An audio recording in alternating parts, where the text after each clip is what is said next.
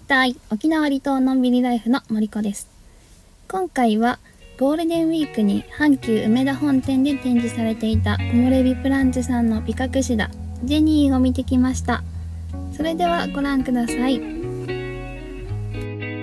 初日の午前中は整理券が配られて入場制限がかかっていたようです。私が行ったのはイベント途中の平日だったので美隠しだたちが少なかったようです。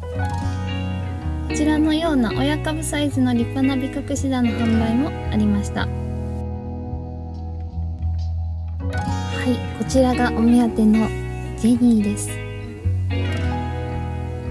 一株とは思えないほど密集していますね。左上に小さな小株がついているのも気になります。ガラスケースで厳重に管理されていました。そしてこちらがなんとジェニーの小株が販売されていました。オークションじゃなく手に取ることができてすごいです。初日に2株売れたそうですが値段は伏せておきましょう。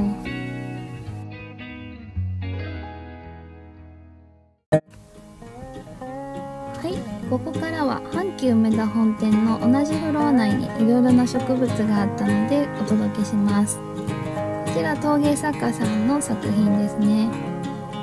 こちらのお店は、えー、アガベやパキプスユーフォルビアコーデックスいろいろと、えー、もう素敵な株がたくさんありました。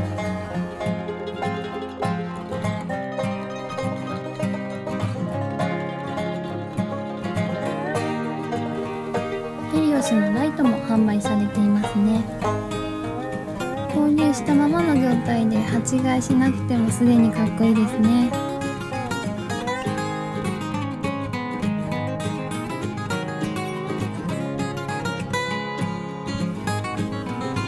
展示スペースの植物も素敵でしたしアクアリウムの専門店もあってすごく楽しめる空間でした。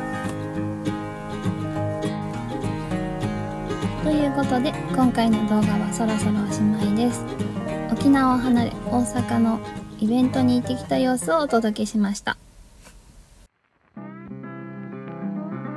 最後までご視聴いただきありがとうございました。このチャンネルは再生リストで DIY 植物情報沖縄情報で分けていますのでまた見てください。ではではバイバーイ。